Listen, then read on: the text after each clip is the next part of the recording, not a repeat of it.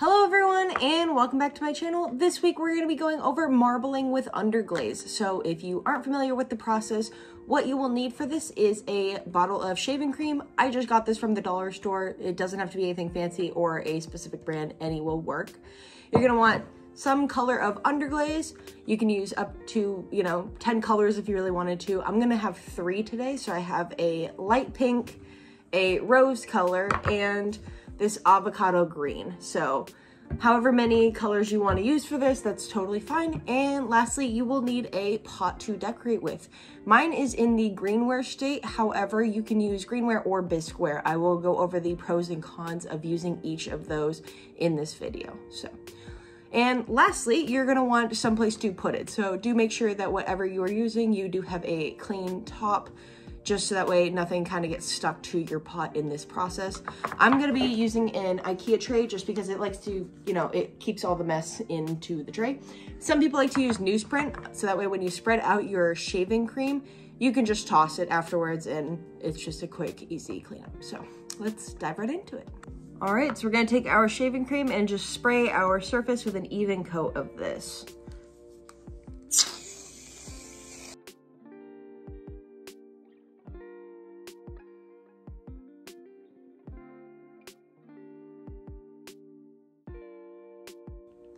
Eh. Okay, and you just want enough that this is gonna have some sort of like even coat. So I'm just gonna take my hand here and really get this to be nice and flat so we don't have any like spots that are higher than the others just because it will make the transfer a lot smoother. Okay, so now that I have everything all just kind of smoothed out to a nice flat surface, we're gonna take our colors and we're just going to layer them on there. So we'll start with the light pink.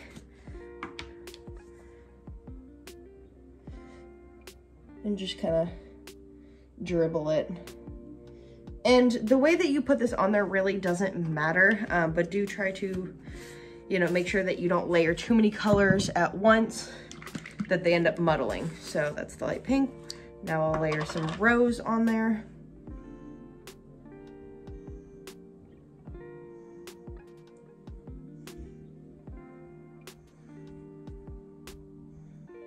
All right.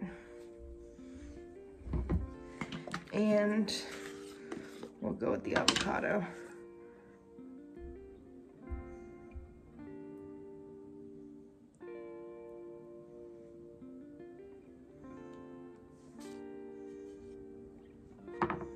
Okay. Now I can either leave it totally like this, or if you want to take like some sort of, I'm using like a kitchen skewer, you can also use like a popsicle stick, or really just your finger or pencil. And if you just want to use this to kind of move some of this around, get it into a design that you really like because this is going to transfer directly as it looks here. So I'm just gonna mess with it a little bit.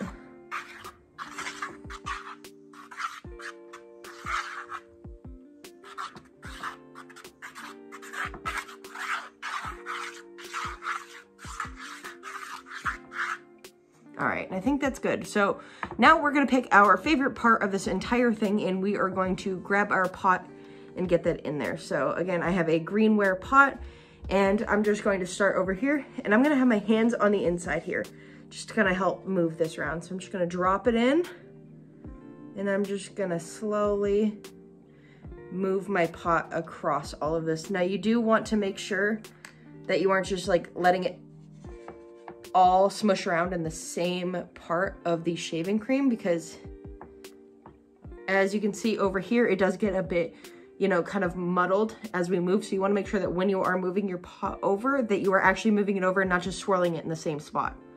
So this is what we got right now.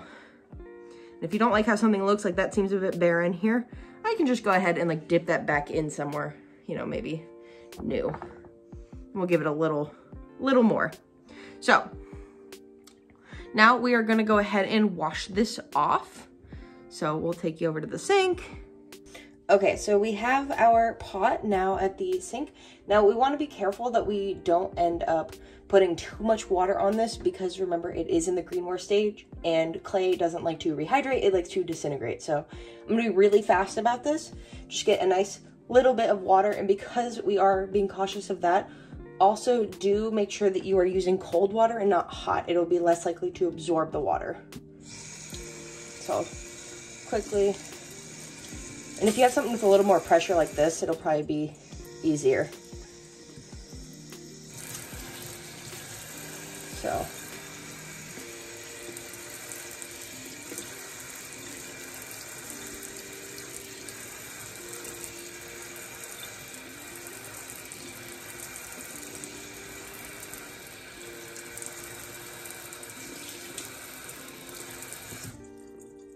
So all of our shaving cream is for the most part off.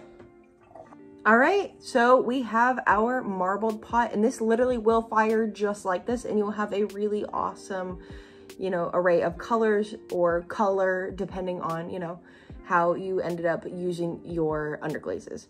But there are a few things I want to note during this process that might just be helpful pointers if this is your first time trying this. You will notice that there is still a little bit of shaving cream still on this. You, when I was washing that off, I didn't use my hand to wipe or to scrub, mainly because this would end up really messing with our color design on here. The uh, pros of working on a greenware pot is when this goes into the kiln for the first time, the leftover shaving cream is just going to fire off. But the cons of it is you do risk cracking it or, you know, ending up disintegrating or, you know, messing up your pot when you end up running it underwater if it's still in the greenware stage.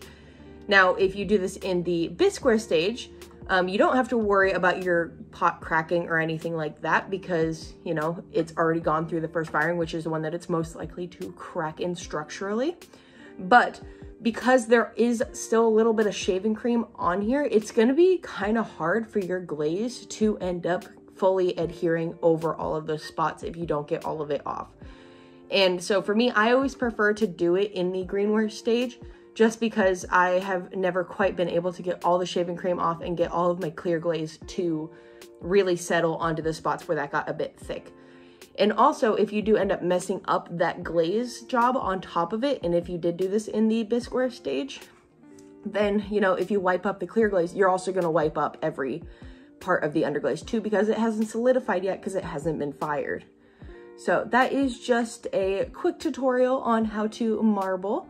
But I do hope that this was helpful for you. And, you know, if you liked my video, found it helpful at all, go ahead and hit like, subscribe, and I will see you all next week. Thanks for watching.